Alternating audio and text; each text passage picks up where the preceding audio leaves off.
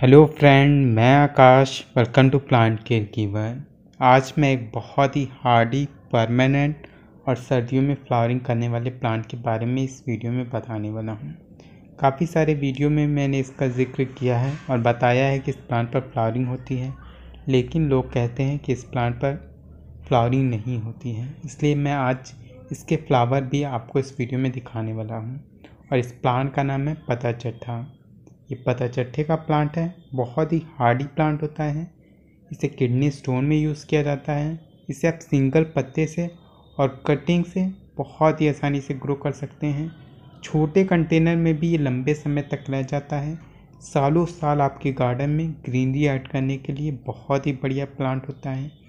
अगर आप कोई भी प्लांट की केयर नहीं करना चाहते हैं तो आप इस प्लांट को अपने गार्डन में ऐड कर सकते हैं। तो चलिए देख लेते हैं कि इस प्लांट के फ्लावरिंग कैसी होती है। तो ये है पता चट्टा प्लांट के फ्लावर्स इस प्लांट पर भी फ्लावरिंग होती है। आप लोग कह रहे थे कि इस प्लांट पर फ्लावरिंग नहीं होती है। तो देख लीजिए इस प्लांट पर भी फ्लावरिंग होती है। जैसे अजूबा प्लांट पर फ्लावरिंग होती है एलोवेरा प्लांट पर फ्लावरिंग होती है, वैसे ही इस प्लांट पर भी फ्लावरिंग होती है। लेकिन फ्लावरिंग तभी होती है जब आपका प्लांट पुराना हो चुका हो और फ्लावरिंग केवल विंटर में ही होती है। विंटर में अगर आप इस प्लांट पर फ्लावरिंग चाहते हैं तो आप इस प्लांट को सनी एरिया में रखें, जहाँ पर पाँच से छः घंटे की धूप आती हो, यानी फुल डे सन आता हो तो ये प्लांट बढ़िया फ्लावरिंग करता है। मैंने इस प्लांट पर, मैं बहुत ही कम केयर इस प्लांट की करता हूँ। इसलिए सर्दियों में इसके पत्ते इस तरह से गिर गए थे, लेकिन फ्लावरिंग ये बहुत ही बढ़िया कर रहा था और तो और इसके जो फ्लावर्स होते हैं, वो महीने भर से ज़्यादा प्लांट पर रहते हैं और ये सर्दियों में गार्डन की टॉल ब्यूटी होता है क्योंकि इसके जो फ्लावर होते हैं, वो बहुत ही ऊंचाई तक जाते हैं। तो ये भी इसकी एक ख़ास बात है। बहुत ही हार्डी प्लांट भी होता है। तो चलिए देख लेते हैं कि इस प्लांट को आप कैसे ग्रो कर सकते हैं। इसे ग्रो करने के लिए आप इसकी कटिंग ले सकते हैं। कटिंग आप छोटी बड़ी कोई भी ले सकते हैं। लेकिन मिनिमम आप पाँच से छः इंच की कटिंग लेंगे तो बढ़िया रिज़ल्ट देखने को मिलता है।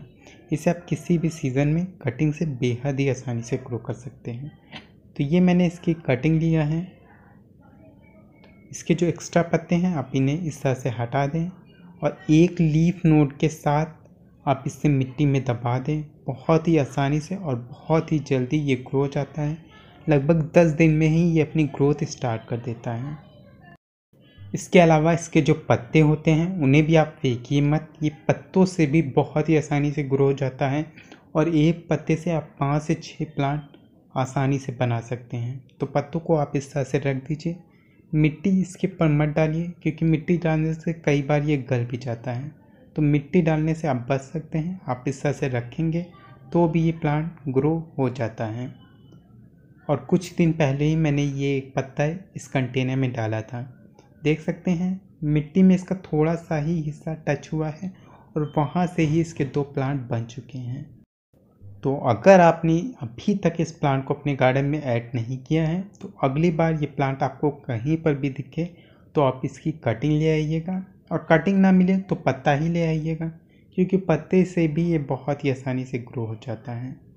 आई होप कि आपको मेरा ये वीडियो पसंद आया हो। वीडियो पसंद आया हो तो वीडियो को लाइक कीजिएगा। मेरे चैनल पे पहली बार आए हैं तो मेरे चैनल को सब्सक्राइब कीजिएगा। तो चलिए मिलते हैं अगले वीडियो में। तब तक के लिए हैप्पी गार्डनिंग। और देख सकते हैं, मैंने इसके बेबी प्लांट को इस तरह से हटा दिया है। अब मैं इसे किसी दूसरे कंटेनर में लगा दूँगा और इसके पत्ते को फिर से इसी कंटेनर में रख दूँगा और फिर से इससे काफ़ी सारे प्लांट बन जाएँगे।